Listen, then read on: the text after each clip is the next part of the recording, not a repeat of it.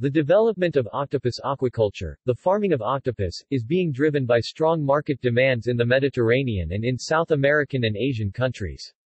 Octopus live short lives, growing rapidly and maturing early. They typically reach 2 or 3 kilograms, high weights for invertebrates.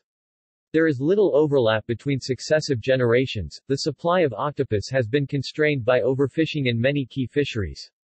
The common octopus seems particularly suitable for aquaculture. However, it is currently difficult to culture the early life stages of octopus and maintain high survival rates for their paralarvae. This difficulty is limiting the development of fully closed life cycle octopus hatchery systems. Species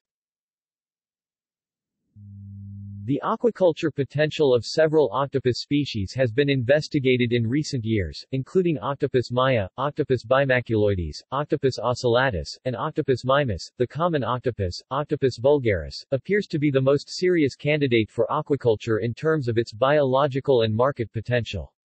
It has a worldwide distribution in tropical, subtropical and temperate waters. It is a benthic species occurring from the coastal line to the outer edge of the continental shelf, at depths to 200 meters and in very diverse marine habitats. The common octopus is easily adapted to captive conditions and has a rapid growth rate of 5% body weight per day. It also has a high feed conversion rate with 30 to 60% of ingested food being incorporated in its own weight, and a high fecundity of 100,000 to 500,000 eggs per female. Temperature There is an optimum temperature at which a cold-blooded species does best in terms of growth, survival and food intake.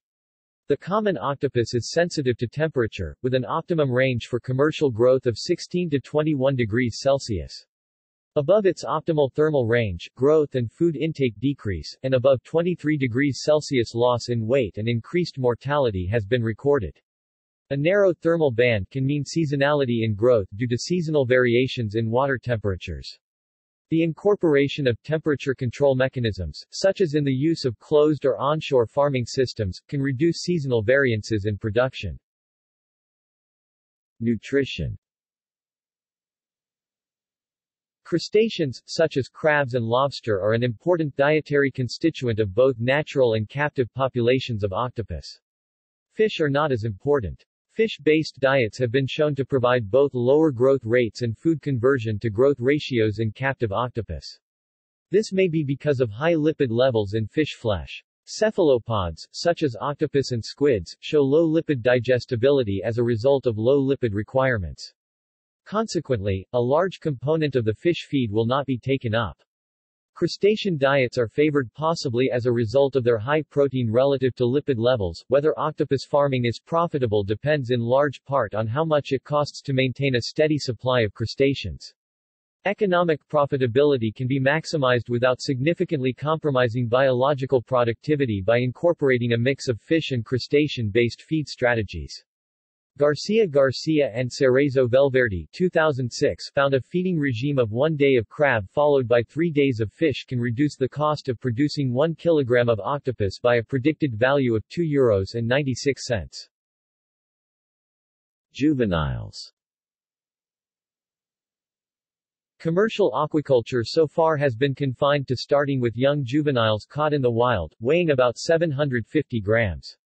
In Spain, these juveniles are purchased from local fishermen and transferred to offshore floating sea cages. There they are fattened with bycatch, fish, mollusks and crabs, for several months until a commercial size, about 3 kilograms, is reached. However, acquiring juveniles in this way, from the wild, further increases the fishing pressure on octopus stocks that are already managed badly, possibly producing cascades in marine ecosystems. A cost analysis of this practice found that over 40% of total costs went into acquiring the juveniles. The profitability of this approach is low, depending as it does on fishing and the supply of subadults, a costly and highly variable process. Paralarva The bottleneck currently hindering the commercial development of octopus aquaculture is the difficulty of rearing octopus during their early paralarva stage. Paralarva is the name given to the larva of cephalopods. Paralarvae are small, less than 3 mm at hatching, with a long planktonic life stage. Current rearing techniques are inadequate, resulting in very high mortality rates. Results vary when octopus paralarvae are fed different combinations of prey. The best results have been with a mix of brine shrimp and other living prey, such as crab zoe.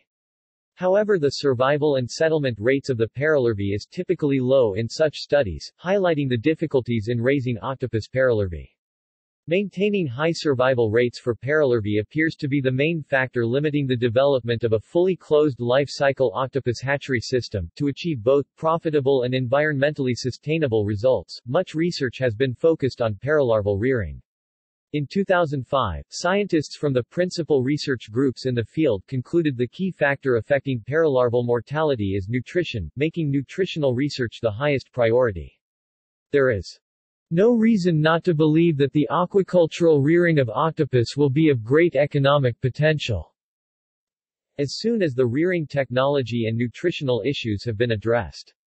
Research in these areas is promising. References External links. Jimenez, Lourdes, Virgilio Arenas, Daniel Mendez, Gerardo Prachado, Ana Gabriela Diaz and Mitzi Blanco 2009 Sustainable Octopus Fishery Program in Veracruz Reef System National Park, Mexico World Aquaculture Society, World Aquaculture 2009 Conference presentation Seixas, Pedro F. and Manuel Rey Mendez 2006 Potential use of octopus species for aquaculture, Present state of the situation, Perspectives and limitations World Aquaculture Society, Aqua 2006 Firenze, Italy. Conference presentation